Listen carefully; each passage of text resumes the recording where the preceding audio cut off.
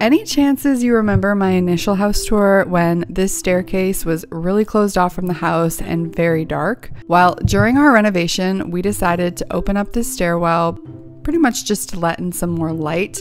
And we also decided to replace the stairs as they were pretty badly cracked and they had this DIY paint job from when the house was rented before we bought it. Welcome to a new series on my channel where we finally finish tackling the stairwell. So before we get to these stairs, I wanted to turn our attention to this open wall here. Obviously this is not the safest, but I always imagine some cool spindles here that close this area off while still allowing the light to travel through the house. Okay, so this isn't the exact wood that I'm gonna use, but this is sort of the size reference. So this is a two by two, so if you can imagine, this is what it's gonna look like. But we're gonna get some better quality wood because if you look, this is just like a really cheap like pine. Two things I have to consider. One is, are we going to attach them on this side or are we gonna attach them on this side of the wall? So these have to be four inches apart. From this post to this post, we've got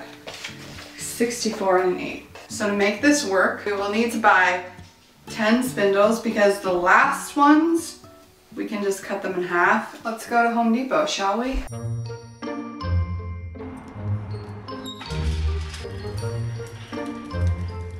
Okay, so this is pine. It's really all I'm seeing in terms of 2 by 2s There's no 2 by 2s in the maple or the oak.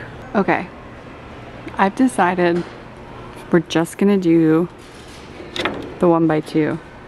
It's not a square.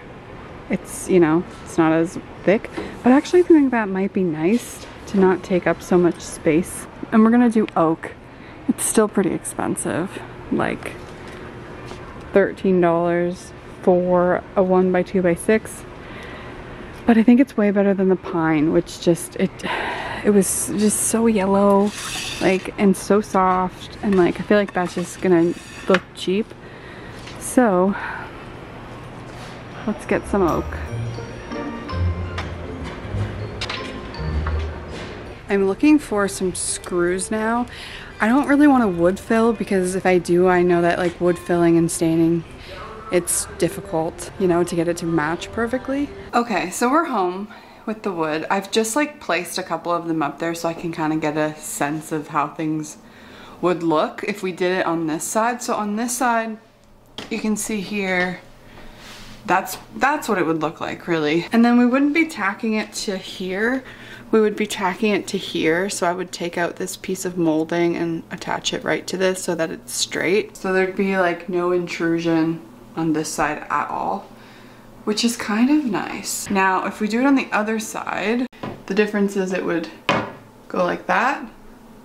And then you would see it on this side I honestly think that they should go on the outside, outside being this side of the wall, you know, sitting there, sitting there. Okay, so I'm going along and marking where every spindle is going to sit. Basically, this spindle is gonna be four inches over, so I'm marking four inches, and then marking how wide the wood is, which is one and a half inches, and then just doing that the whole way down.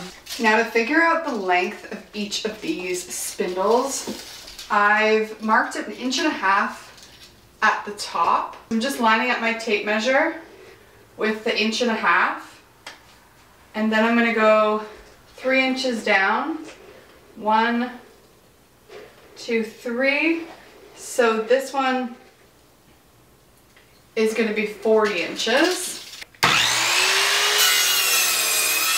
Okay, the next thing we want to do to get that beveled edge is we want to switch the orientation of this saw. You'll notice at the back of my saw there's this little turning lever. We're going to turn that and then we're going to push the saw to a 45 degree angle. So now instead of straight up, saw is on the angle. If you bring the saw down, you'll see there's like that shadow on the piece of wood right there. And you'll see that it's cutting it exactly the way we want it to be cut.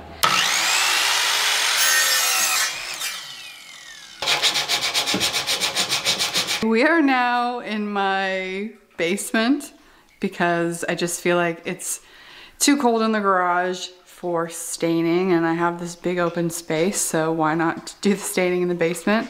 Um, our basement is like completely unfinished. I feel like maybe one day we'll finish it and do some stuff down here, but for now, it is just a big unfinished mess. So I decided yesterday to test out some stains.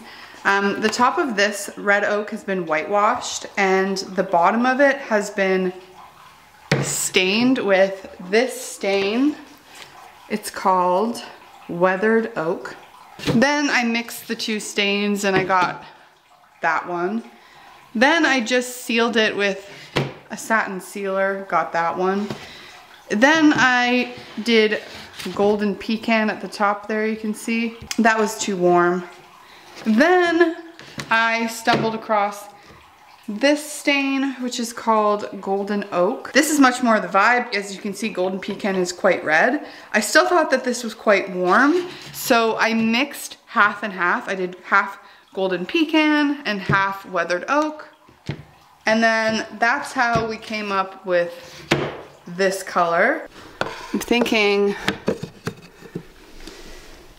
that's gonna be quite nice on the floor. I think it's a really nice match. The problem then becomes these beams because this is gonna be a little bit more on the cool side, as you can see.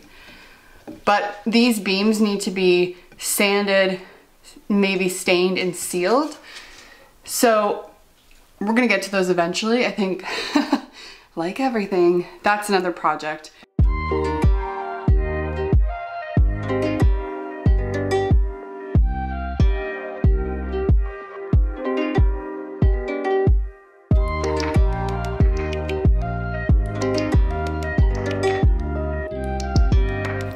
Everything's done. Everything is stained. This light is next to impossible to like notice the color. But there it is.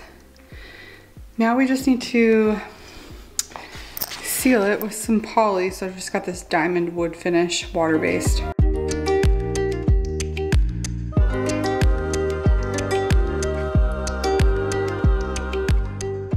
Here I'm just kind of taking a look and trying to figure out where I actually want to put my screw in. I'm marking that the same on all of the spindles. Now to do this, we're going to be using something called a countersink drill bit. It looks like this. So you'll see that little gold thing, it drills right in for your screw, but then this black thing can move up and down on the drill bit and that's going to do a countersink. It's to make more sense once I show you, but this is essentially to go into the wood and create a bigger hole so that we can put these plugs in and then we won't see any of our screws.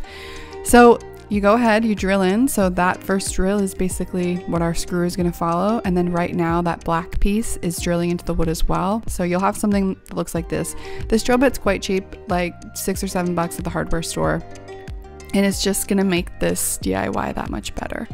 So now I'm just going on and putting the screws in the top. Um, I'm just tacking all the tops in and then I'm going to go ahead and go throughout the bottom. This is just like the easier way to do it, but I'm like so thrilled. This is very mid-century modern um, and I'm loving it. I have recruited some help just to help me hold the spindles in place as I screw them in taking a level just to make sure they're absolutely straight before I actually go ahead and screw them in. This is Michael telling me, yeah, they're pretty stable. I went ahead and pre-stained these plugs prior to putting them in, so I'm just taking some wood glue and sticking that in place. Because I don't have a rubber mallet, I don't know why, I'm just taking a rubber glove and um, putting some protection in between and hammering that plug into place. Guys, I was shocked look at how good this looks. Look, look at me, I'm like, did I do that? So I just went ahead and did this to all of them and are you guys ready for this before and after?